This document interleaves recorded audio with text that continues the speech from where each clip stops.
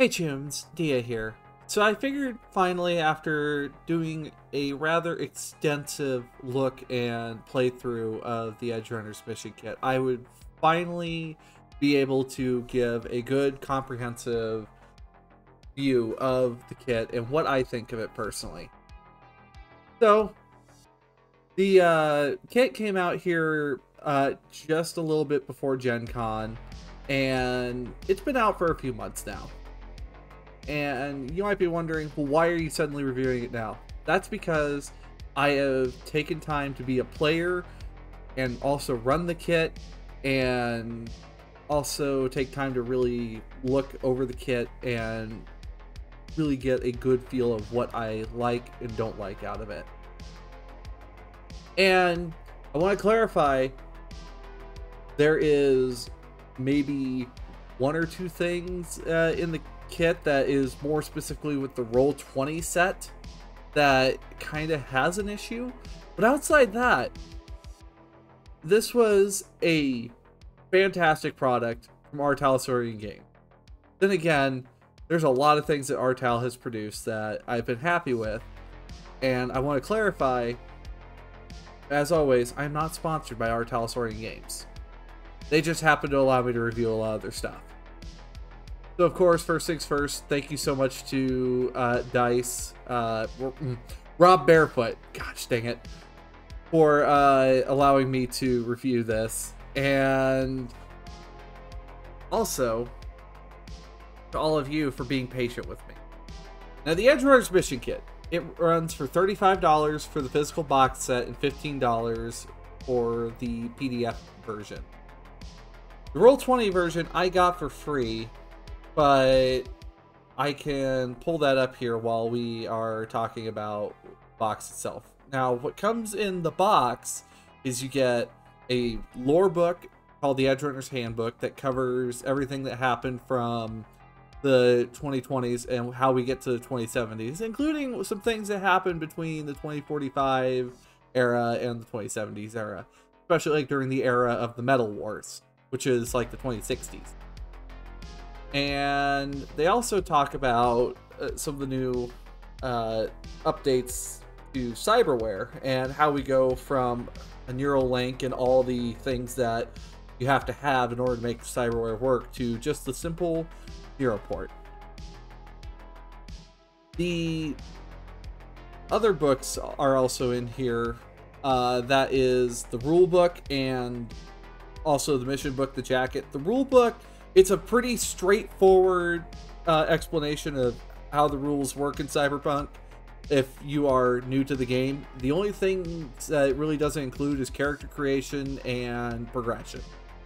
Other than that, you'll have all the rules that you need to play Cyberpunk. Plus, also you have quick hacking rules, and it comes with uh, some awesome new rules that can be applied to the time of the red as well, such as humanity gain and humanity loss, like much more clear definitions on what those are. And we also get some new cyberware as well. Also, a new street drug, the immunoblockers. The rulebook itself, I don't really have any complaints or like big comments about it personally. It's very well put together and it's pretty easy to read through. The one thing I kind of hoped for though is maybe if we had a table of contents, but that's okay. It's a it's a starter kit. Like everything's pretty condensed as it is already. And then finally we have the jacket. The jacket uh, is one of the longest uh, single adventures by far that Artal has written, and I think that will still even stand up to a certain mission that's coming up in an upcoming book, uh, Tales of the Red Hope Reborn. The jacket took my group uh, three sessions to complete, and also when I ran it for a couple of groups, it took three sessions to complete. And I'm not going to go into specifics about the jacket, I don't want to get into spoilers, but it does a very good job of walking GMs through how the scenes are supposed to play, how the mood should be, and gives a lot of context for little tidbits that if you're a new GM, you just wouldn't know unless you had been playing Cyberpunk for a little while. But like one little detail I noticed is they defined what Smash is. For the longest time, I wasn't sure what exactly Smash was, but it appears to be a mixture of uh, cheap beer and uh, energy drink. So, no wonder why it uh, gets to your head pretty quickly. The other stuff that comes in here, there is a really, really good looking set of yellow and green dice that match the same color scheme as the uh, Edgerunners mission kit and the 2070s era of Cyberpunk. And also, there's a map of Night City as well. It's all really, really good looking stuff. There's standees uh, that were uh, made by Studio Trigger. And also, something else that's in here Adam Smasher's stat block is in here. And it's also been integrated to fit for Cyberpunk Red as well. So, all in all, when I look at the Edge Runner's mission kit, some of the things that I've kind of scaled, I don't have like an official rubric yet. But some of the things I look for is the cost of entry and also like how much playtime you can get for the product in question.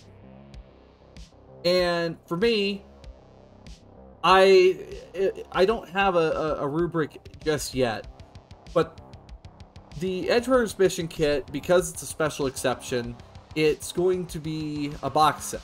It's everything you need to play is contained in the box for you and up to seven players to play the game.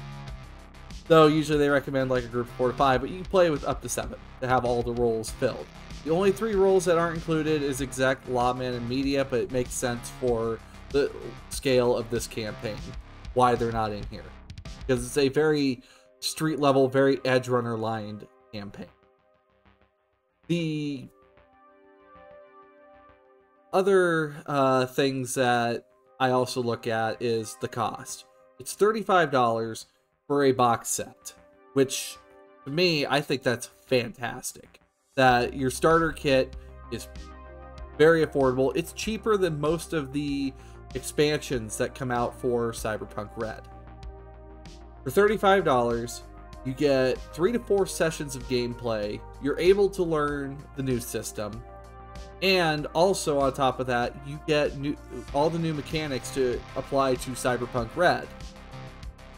And for someone who might be new to Cyberpunk, this is a good step, especially for those of you guys coming from the 2077 crowd, to be able to understand what we got going on in Cyberpunk Red However, you'll still probably need to take some time to look into the lore of the Time of the Red. And I know it's been mentioned by J Gray. There is no set date. It's just at some point in the future, we are going to get a 2077 source book. But the Edgerunner's Handbook, the, the lore book, covers a lot of details already about Night City in the 2070s.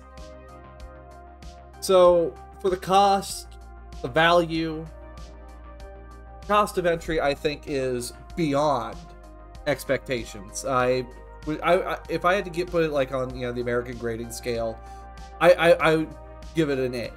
Not quite an A plus, but an A. The only reason why I'm I, am i I'm putting it there is because uh, compared to the PDF version, 35 bucks can still be a lot for some people. But A plus, you'd have to be like out of your mind to be selling it for a cheaper than 35 bucks for a box set. The other point that I want to make for the high grade is the fact that you can have so many players and for $35 you have at least 3 to 4 sessions of gameplay. And then they provided a free extra mission that gives you at least a fourth or fifth session depending on how long it takes you guys to complete the jacket. The other stuff that's included is the enhancements, which you use to upgrade your cyberware while in game without needing a techie to do it. You just slap it onto your cyberware with the techie. You don't have to go through the whole installation process. The other things that I've noticed with the Edgerunners mission kit that really puts it up there. The amount of time and effort that was put to make this the easiest point of entry for any new GMs. I I I, I would say for any new GMs who want to get into Cyberpunk Red, start here.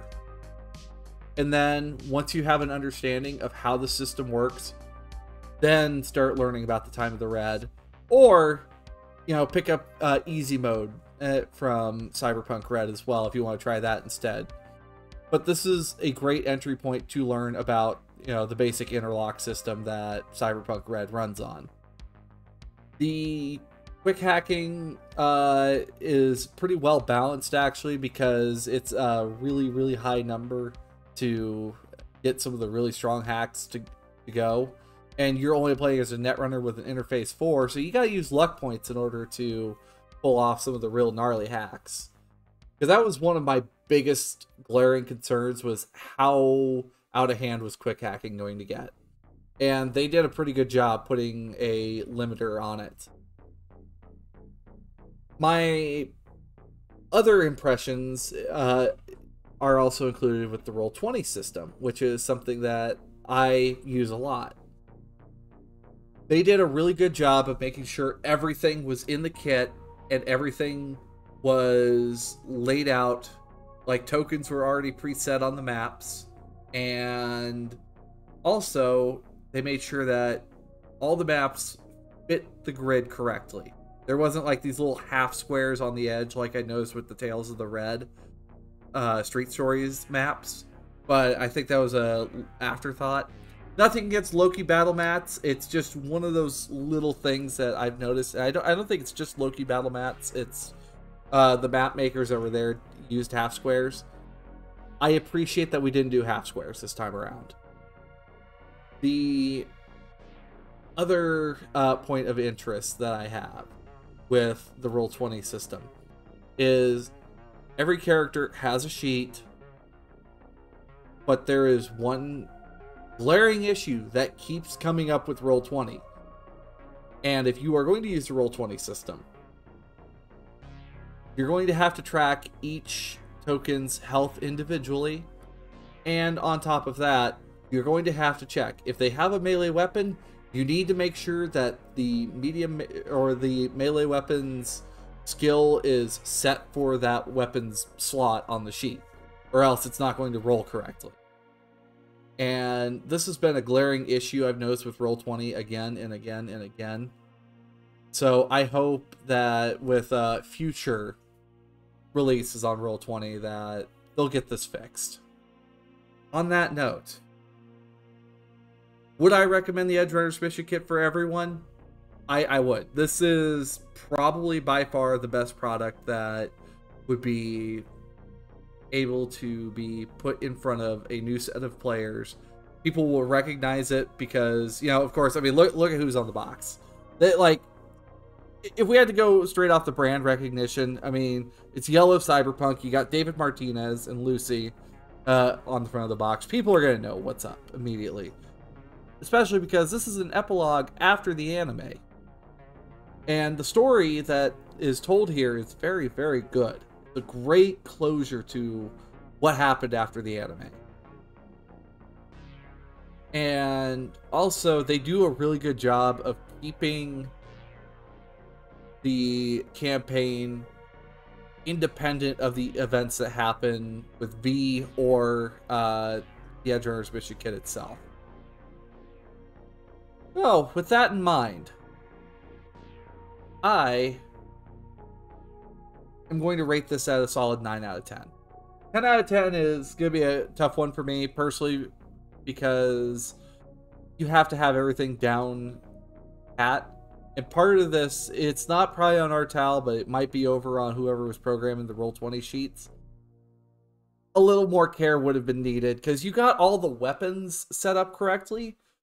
Like all the ranged weapons. It's just always the melee weapons that were always off. And that's been a constant frustration that should have been addressed after the last uh, expansion, which was Danger Gal Dossier. But other than that, 15 bucks uh, for the PDF system and uh, $35 here. And then for Roll20, if we go over to the marketplace and look up the Edge Runners Mission Kit, the Edge Runners Mission Kit, it's 15 bucks on Roll20 as well. So, in my personal opinion, you have all you need to run your first full length adventure and learn about a new system for 15 bucks if you really wanted to only do digital. And honestly, for some people, that's kind of how they have to do it. So I think, if anything, if you have not picked this up yet, I would highly recommend it. And also, the box is fucking gorgeous. Oh, excuse my profanity, but it, it is beautiful. I think on that note, folks, I've said my piece on what I have to say about the Edge Runners Mission Kit. Personally, because I enjoy the time of the red, I am not as well versed in the time of the 2070s. But as a GM, I think this is fantastic for any new GM. So, also players, if you want to get your GMs to learn something else, try this. Until then, friends, thank you so much for tuning in. Artal, as always, thank you for sending me products to review. I am very happy with this.